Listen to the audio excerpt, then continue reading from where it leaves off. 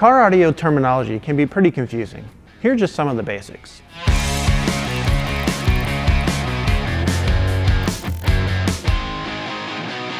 Amplifier. Increases an audio signal so it can be heard through a speaker or other audio device. Capacitor. A store of electricity and instant power for your amp. If your amp suddenly draws more power than it's available, the capacitor will make up the difference to avoid any interruption. Crossover. Sends audio frequencies to the right speakers. A crossover will direct highs to your tweeters, mids to your woofers, and low bass to your subwoofers. DIN and double DIN. A height and width standard for car head units. Created by German Standards, the acronym stands for Deutsches Institut für Normung. A single DIN head unit measures 2 inches by 7 inches. A double DIN head unit measures 4 inches by 7 inches. Equalizer. Fine tunes your sound with more precision and control than standard bass and treble controls. Frequency response. The range of tones and frequencies a component can reproduce. Gain.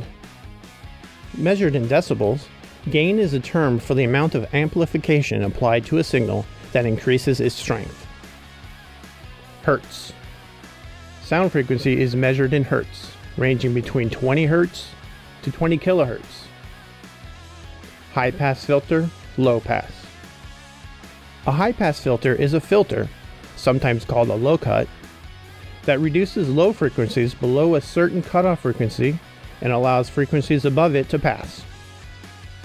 A low pass filter attenuates, or filters out, the high end signals while allowing the low end to pass through. IPX rating.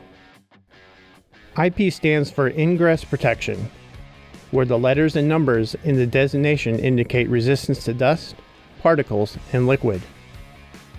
For example, IPX4 is protection from splashing water from any direction. IPX8 protects when immersed in water over 3 feet. Ohm. In the most literal definition, ohms is the term used to represent impedance of a speaker. Speaker impedance is the amount of load that a speaker places on an amplifier. Peak power. The highest level of power a speaker can handle, or that an amplifier can output.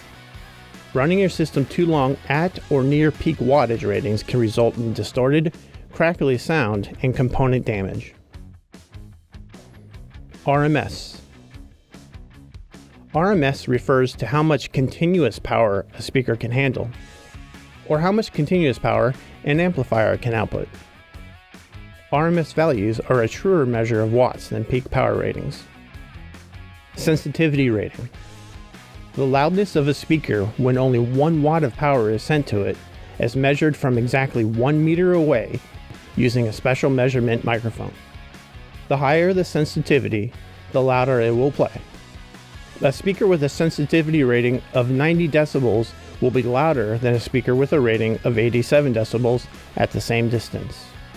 It may not seem like much, but that 3 decibel difference is effectively the same as doubling the power of the amplifier. Subwoofer. A subwoofer is actually a speaker used to reproduce the very low frequencies. These frequencies may vary from 20 Hz to 200 Hz in particular.